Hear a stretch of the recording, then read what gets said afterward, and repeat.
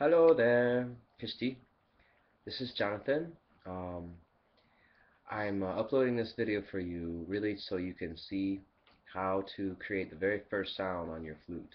I meant to do this with your own flute and um, I recorded a video with your own flute using a different software and it just, I don't know, I was having problems uploading so I apologize. By the time this video is getting to see you, your flute's already in the mail. So the one I'm going to show you is a different flute, but it's made the same way as yours. So as you can see, this is the mouthpiece. This semicircle right here is what splits the breath as it comes out of your mouth. And I'm going to show you from another angle. This is that same mouthpiece. This is the part that is placed against your mouth, most likely your lower part of your bottom lip. Whereas here, Again, this is what is going to split your breath as the breath moves out of your mouth. So I'm going to show you what that sounds like. So here, I'm going to come really close so you can see.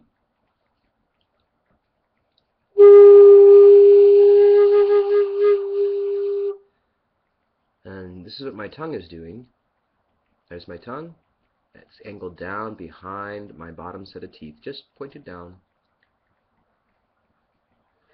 and I'm blowing out in this direction. My, the wind that's leaving my mouth is going down the same length of the flute. It's not being blown perpendicular. It's blowing out across this way. I'll show you the difference.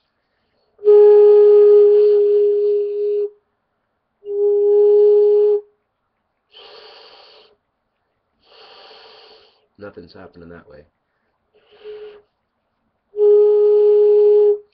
Now watch, I'm going to just barely move this. I'm going to show you how I hit it. Now I'm going to move it towards my nose, just a barely, barely a, a little bit, and you'll see that I'll miss it now. Here we go, I'm going to hit it.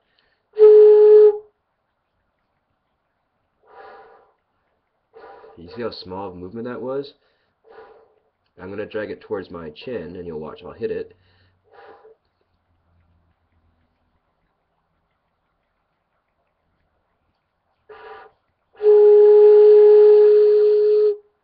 Now if I go too far towards my chin, I'll miss it again.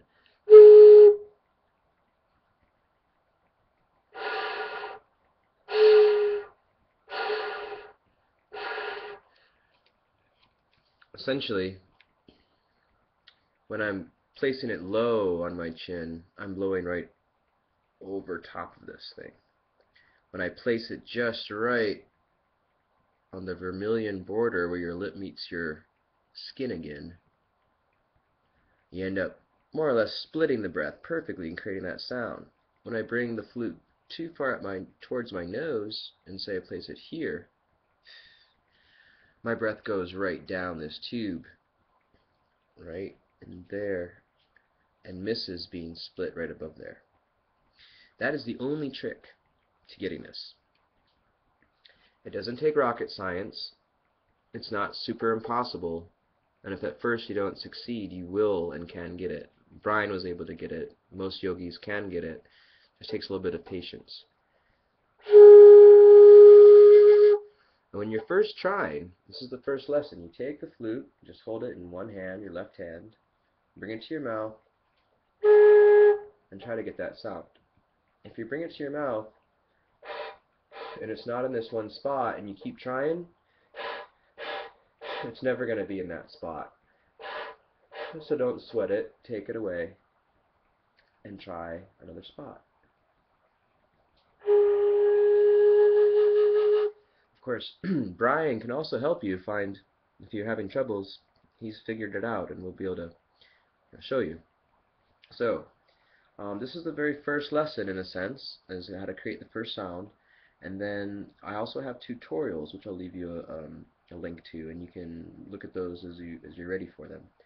But um, the flute is made for your left hand to hold towards the top, the upper notes, and the right hand to hold the bottom of the flute. Okay, it's an ergonomic design. And when you see your flute, you understand what I mean, that the right hand is made for the bottom two notes, and the left hand is made for the top three, with the thumb hole too. So when all the holes are covered, this is what it sounds like. This flute is also the key of A, the same flute that you'll receive.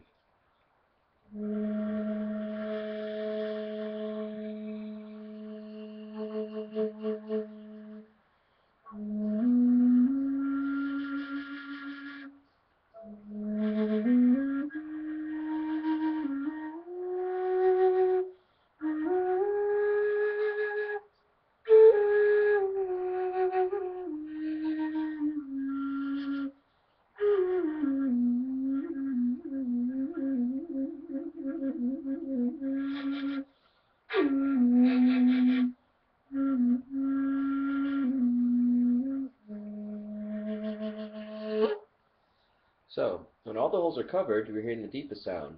When you lift up the right ring finger, you're going to hear the next deepest.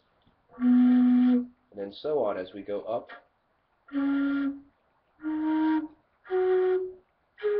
Finger by finger. Now notice when that thumb hole's open, I have to have all the other holes open below, below it for it to work out. That's closing the thumb hole. And then the left index, and the left pinky, and the right index, and the right ring finger. And that is a scale. Thumb, index, pinky, index, and again that ring. It's just going down the flute or going back up the flute.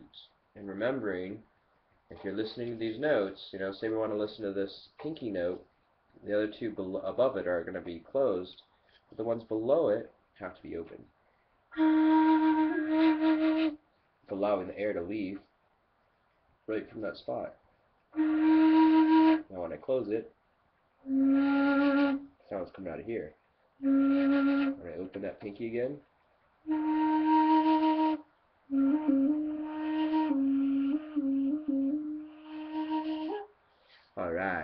so that concludes this first little bit.